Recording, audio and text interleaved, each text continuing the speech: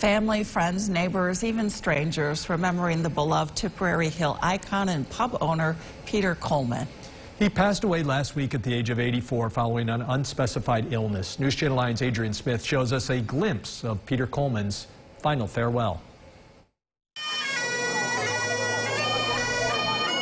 A sea of green and Irish pride along Tipperary Hill to celebrate the life of Peter Coleman. Peter Coleman is the heart of this community.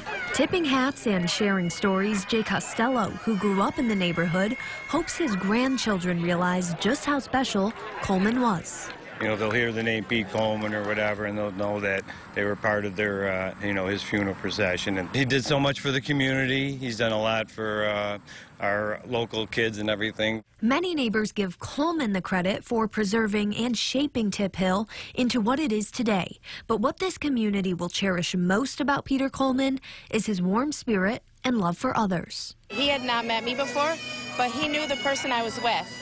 And just because he knew the person I was with, he immediately accepted me. Hey, how's it going? Nice to meet you. And he, he remembered me the next time he saw me. Like how many people he must meet, but he remembered me.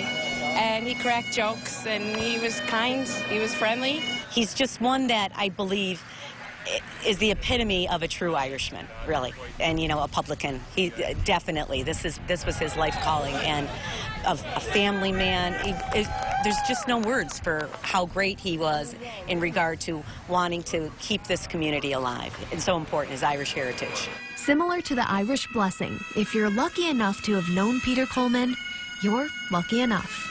On Tipperary Hill, Adrian Smith, News Channel 9.